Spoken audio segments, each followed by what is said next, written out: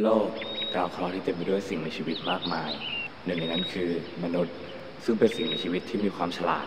สามารถสร้างสรรค์สิ่งต่างๆ เพื่ออำนวยความสะดวกสบายให้แก่ตนเองได้อย่างรวดเร็ว แต่ทว่าการกระทำเหล่านี้กลับเป็นการทำลายสิ่งแวดล้อมไปพร้อมกัน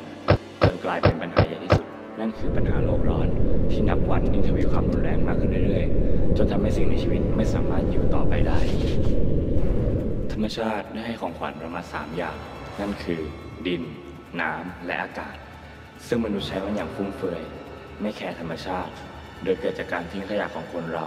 จากหนึ่งเป็นสอง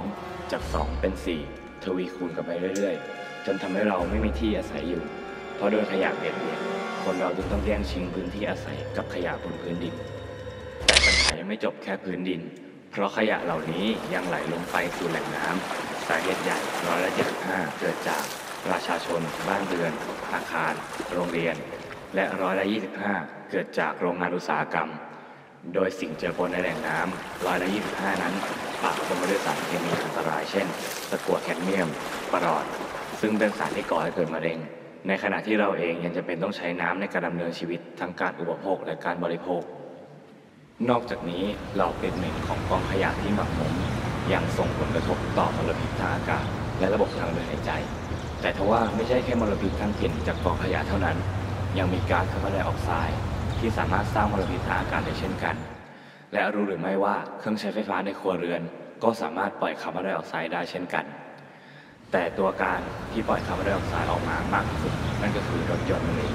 รถเป็นสาเหตุหนึ่งที่ทำให้เกิดมลพิษทางอากาศ โดยสมมุติว่ารถยนต์หนึ่งคัน ปล่อย CO2 200 กรัมต่อกิโลเมตร เช่นใน 1 ปี รถยนต์ 1 ล้านคัน จะปล่อยก๊าซ CO2 มากถึง 730 ล้านกิโลกรัมต่อปี เราลองมาคำนวณดู รถบรรทุกที่ขนของเต็มคัน หนัก 20 ตัน ใน 1 ปี คนเราจะปล่อยก๊าซ CO2 ที่เทียบเท่ากับรถบรรทุกที่ขนของเต็ม 36,500 คันเลยทีเดียว นี่ยังไม่รวมถึงจำนวนรถที่มีอยู่ในปัจจุบัน คนเราจะปล่อยก๊าซ CO2 เท่าไหร่กัน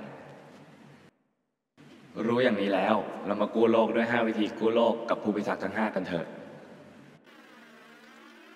สวัสดีครับ ผมน้องรีดิวนะครับ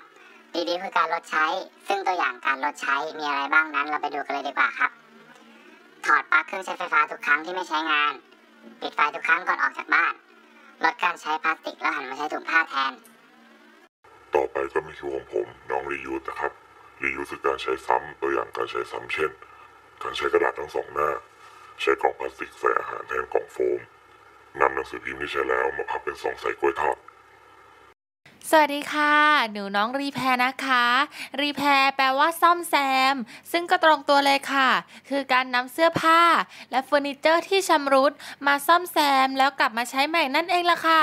จะได้ไม่ต้องมาซื้อใหม่ยังไงล่ะคะ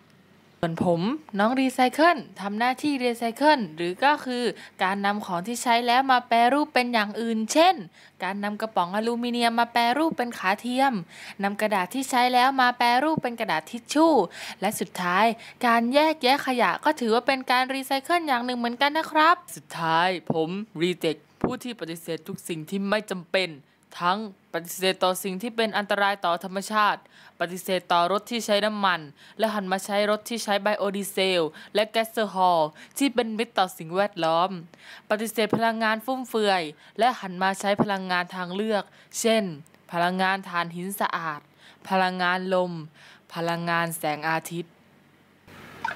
ซึ่งวิธีทั้งหมดนี้หากว่าเราทุกคนทำได้ ก็จะเป็นการช่วยธรรมชาติได้ดีอีกทางหนึ่งเลยล่ะค่ะ จากวิธีการทั้งหมดที่ได้บอกไปแล้วนั้น อาจไม่ช่วยอะไรได้เลย หากเราไม่รู้จักการลดความอยาก เพราะความอยากของมนุษย์คือสาเหตุหลักที่ทำลายสิ่งแวดล้อม ลองคิดดูว่าในทุกหนึ่งปี โลกร้อนขึ้นหนึ่งองศาเซลเซียส ถ้าหาก 20 ปีล่ะ